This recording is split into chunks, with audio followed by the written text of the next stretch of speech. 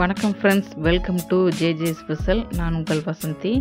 இன்றைக்கி சூப்பவுல் வச்சு நம்ம சிம்பிளாக ஒரு பாயாசம் செய்யலாம்.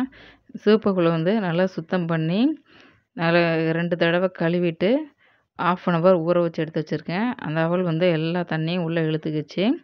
இப்போது இந்த பாயாசம் எப்படி செய்யலான்னு பார்த்துடலாம் இதில் வந்து நிறைய நன்மைகள் இருக்குது குழந்தைகளுக்கு எச்ச நல்ல ஒரு ஈவினிங் ஸ்நாக்ஸ் இது. இதுக்கு நான் ஒரு முக்கால் லிட்ரு பால் வந்து கொதிக்க வச்சு எடுத்து வச்சுருக்கேன்.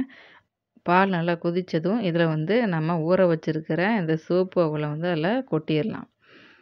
இப்போது சிவப்பு அவலை வந்து நல்லா கிளறி விட்டுலாம் அவல் நல்லா வேகட்டும். அவல் வந்ததுக்கப்புறம் நம்ம இதுக்கு தேவையான அளவு இனிப்பு சேர்த்துக்கலாம். அவல் நல்லா வெந்துருச்சு. இப்போ இது கூட நம்ம இனிப்புக்காக நாலு டேபிள் ஸ்பூன் நாட்டு சர்க்கரை சேர்த்துக்கிறேன். உங்களுக்கு இனிப்பு பத்தலைன்னா நீங்கள் எக்ஸ்ட்ரானால் கூட நீங்கள் சேர்த்துக்கலாம். நாட்டு சர்க்கரை இல்லை அப்படின்னா வெல்லம் கூட சேர்த்துக்கோங்க.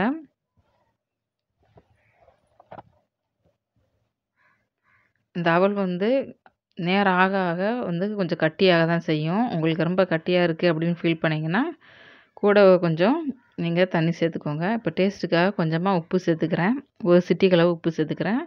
அவல் பாயசம் தான் ரெடி ஆயிடுச்சு. இப்போது நம்ம முந்திரி திராட்சை எல்லாம் வந்து நெய்யில் வறுத்து நம்ம இதில் ஊற்றிடலாம்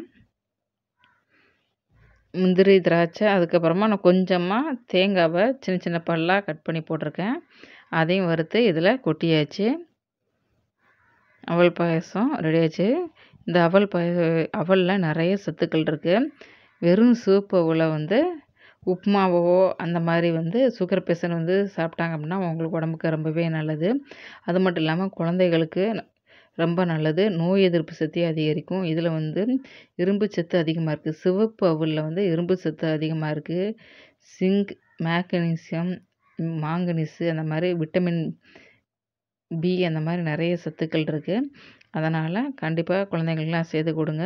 உடம்புக்கு ரொம்பவே நல்லது. இன்னும் ஈஸியாக செரிமான சக்தியை தரும். நோய் எதிர்ப்பு சக்தி அதிகரிக்கும். அந்த மாதிரி நிறைய நன்மைகள் இருக்குது இந்த பதிவு பிடிச்சிருந்துச்சின்னா லைக் பண்ணுங்கள் உங்கள் ஃப்ரெண்ட்ஸுக்கெலாம் ஷேர் பண்ணுங்கள் நம்ம சேனல் இன்னும் சப்ஸ்கிரைப் பண்ணலன்னா சப்ஸ்கிரைப் பண்ணுங்கள் தேங்க்யூ ஃப்ரெண்ட்ஸ். இது வரைக்கும் பதிவு பார்த்ததுக்கு